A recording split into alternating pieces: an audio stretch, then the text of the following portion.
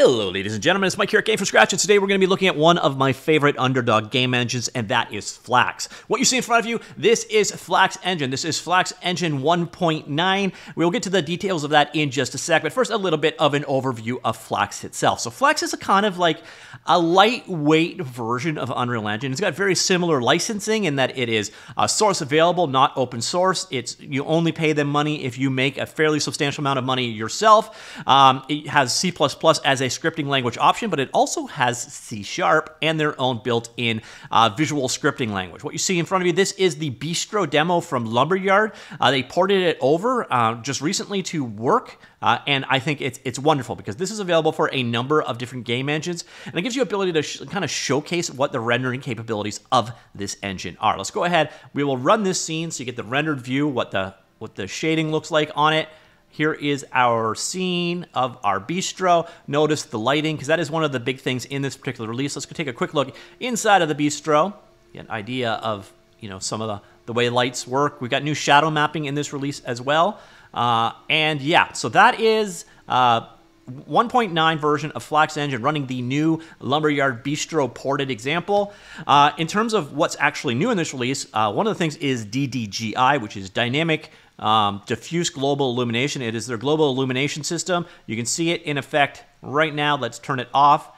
So this provides like the secondary bounce lighting for open world type environments.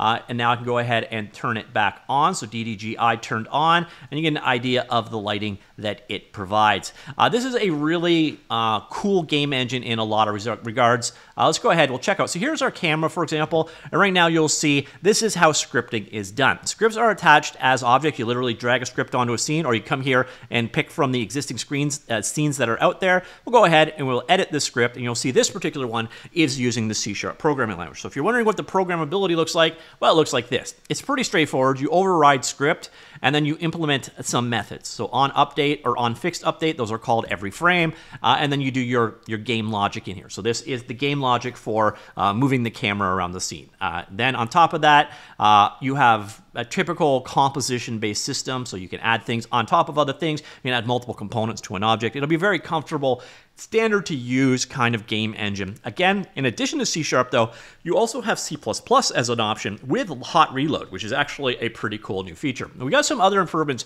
to the 1.9 release, some things that are like just real quality of life. For example, if you have a list of items, for example, we have this script right here. Let's go ahead and add another script to this object. You now have these handles so you can order any list. So this will work on any list uh, that you have. Now the the visual indicator is in the wrong order. So you now have the ability to uh, visually um, reorganize any list that you work with, which is a nice feature to add. Uh, on top of that, I just find it really simple to work with. They've also done some things, uh, so some of the improvements, the way things processed. So uh, when you import objects into the engine, it will be much faster, uh, which again is just a nice quality of life kind of improvement. So this was my quick hands-on with 1.9. Again, this scene you see is the bistro scene. I will go ahead and show you how you could go about grabbing that, but now let's go take a look at um, Flax itself and the 1.9 1.9 release specifically. So here we are at the homepage. Flax is available for Windows, Linux, and Mac OS. The site is flaxengine.org. Uh, it's uh, in terms of features and functionality. Let's do a quick rundown of those features. So some of the cool things here are C Sharp and C++ scripting, in addition to visual scripting as well. Uh, you have again a number of graphics functionality that there. So asset streaming. You also have support for 64-bit precision. So if you want to make very large world, it's there. It has online services including Steam, Xbox Live, and PlayStation Network. It is available. Uh, it can run on um, like the targeted game can run on Windows, Linux, Android, Mac OS, iOS, PlayStation 4, PlayStation 5, Switch, and Xbox. So very mature in terms of the platforms it supports. It also you can run the engine itself. The, the editing tools are on Windows, Linux, and Mac OS. So that wasn't the case in the past. So now available on uh, pretty much all major development platforms, which is a nice step forward. And then we got another uh, other cool features there: terrain and fog and foliage built in, hot reloading of C Sharp and C++, uh, and so on and so forth. Very cool, mature game engine. Uh, in terms of the 1.9 release, uh, so we've got a number of improvements here. One of the new things here is video playback directly inside of the game. So you can actually add uh, a video player actor into your scene and play MP4 files, audio and video. You can even stream it from a URL if you wish. So if you have video playback in your game, uh, that is now supported in 1.9. We have a number of rendering performance boost things, including uh, draw call sorting, asynchronous drawing, object batching, GPU object data, uh, and uh, shadow maps. Uh, we're going to get to back to shadow maps in just a second as well. Oops, I don't know what that was, but uh, we also have the uh, Bistro scene sample. I mentioned that earlier on. It is available on GitHub uh, and shows you how global SDF is implemented for that scene using DDGI, the global illumination system there. Again, DDGI did get some improvements and is considered ready for production.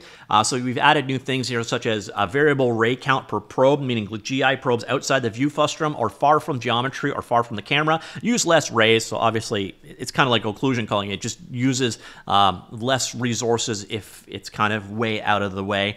Um, and then the improvements to the algorithms, etc. So you should be able to get realistic outdoor style lighting here. Again, this is mostly for open world type scenes, uh, so you wouldn't really use it if you just had an indoor scene. You just use traditional lighting. But for outside, global illumination works wonderfully there. Uh, they again did make improvements to their shadow map support, so they re-implemented uh, shadow mapping to use shared atlases. Uh, so we've got variable shadow resolutions, variable update rates, uh, separate static atlas for static geometry, shadowed lights in transparency, shadow light batching, and then as a result of some of this, better performance. So your shadow map generation should be nicer in this release. Another thing that they've done is added GPU-based mesh SDF generation. Uh, so this is when you first import a model. It is now generated on the GPU. The example they give uh, for cutting the computation down uh, is a 3.7 million vertices volume is uh, now generated in 160 milliseconds. I wish they had that before so you could actually see what the speed increase was. Uh, but basically, importing objects into Flax Engine is really fast, especially if you come from something like um, the Godot game engine. You're going to find it just wonderful how fast this thing can, can actually import in 3D objects. And thanks to this, it should be even faster. Uh, uh, missing references debug improvements as well, improvements to the editor hierarchy. The grid has been replaced with a uh, texture and um, a quad that is drawn on it. So now the new grid system uh, should be faster and smoother than the old play, the old way of doing it using debug lines. Uh, you can now reorder lists with these controls, as I showed you earlier on. Uh, and then we've got improvements to the UI in general, things like tooltips and descriptions. Uh, you see the effects down there, nice integration into the documentation. Uh, we also have improvements to the search and filtering functionality. You can actually see a little bit of the uh, visual programming language that's available as well and it's a pleasant language to work with. I actually do enjoy visual scripting with the Flax engine. Uh, on the topic of that visual scripting, they've also now got uh, editor options contains a setting for line curvature that make them look straight. You see over here.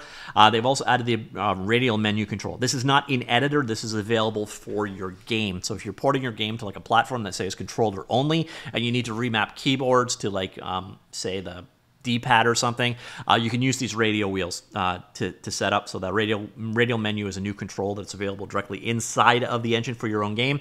And then we have several other improvements to the engine as well. So that is a, the 1.9 release in a nutshell. Uh, as I mentioned earlier on, the Bistro scene is available as well. This is a port of the Lumberyard Bistro scene. In terms of setting it up, what you want to do is basically clone this repository, and then you need to download the zip file here. The zip file is huge. It's like um, uh, five-ish gigabytes in size. The key thing you want to note is see the data folder.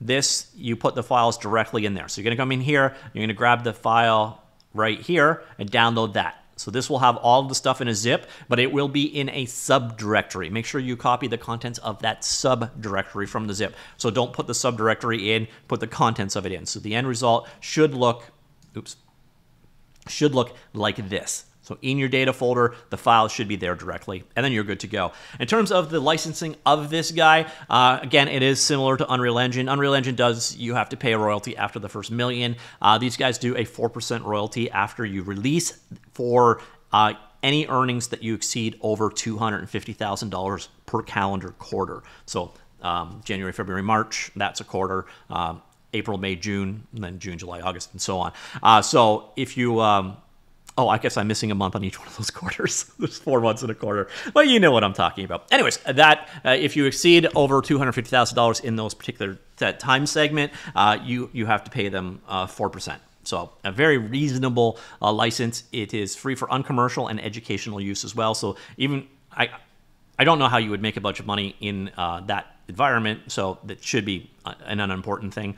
On top of that, the source code is all available. It is source available, not open source. Just definitely one of those things you want to know about. And the source code is hosted up on GitHub. Uh, and yeah, here you can see very actively under development. Uh, it's got a good community forming around it actually. So this is mostly the work of this fellow right here, uh, but there are a number of other people contributing to it as well. Sort of like Unreal Engine has a ton of contributors, even though you know Epic Games ultimately runs it. In terms of the the engine itself, it's an equal split between C Sharp and C++ in terms of code.